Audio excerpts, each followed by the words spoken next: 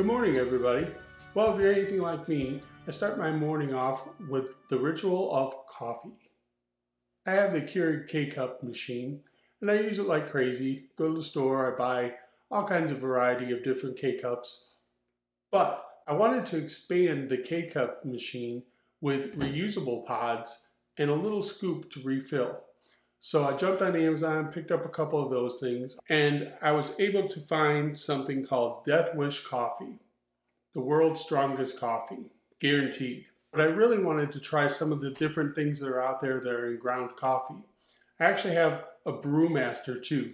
It's a different machine. I have two on my counter. I don't know if anybody else has two coffee makers on their counter, but we went on vacation to SeaWorld, and when I got there, I didn't think I wanted to use the machine, but by the time the week was over, I wanted to take it with me. So when I got home, I jumped on Amazon and I ordered one for myself.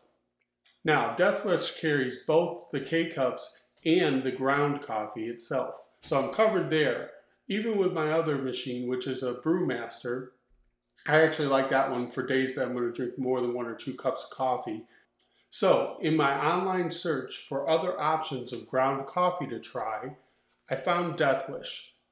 I was really interested to try it, so I grabbed some. It's billed as the world's strongest coffee.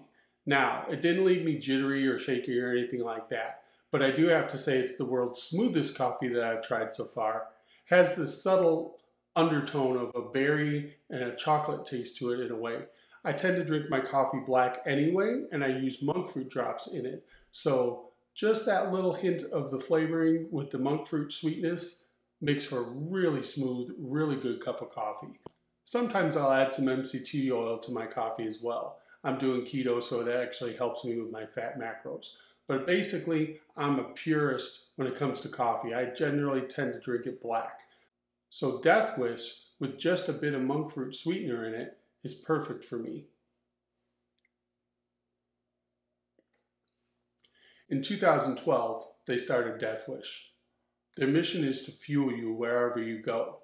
Now, they do some pretty cool things too, like they sponsor NASCAR, uh, Comic Con, Special Olympics, things like that.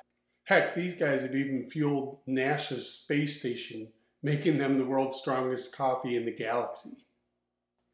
They're so confident in their product, they'll offer you a no BS guarantee. If you don't think it's the strongest coffee you've ever tasted, they'll give you a full refund. Period. Now, no worries, guys, because I really like this stuff, so it's not going back. I'm really glad I tried Death Wish here. I'd recommend it to anybody who's looking for a good alternative to their morning coffee choices. When I'm at home, I use their mug. When I'm on the go, I use my Contigo. I love these things. Well, coffee lovers, Thanks for hanging out with me for a few minutes. If you tried Death Wish, let me know what you think of it in the comments below. For me, it's a winner.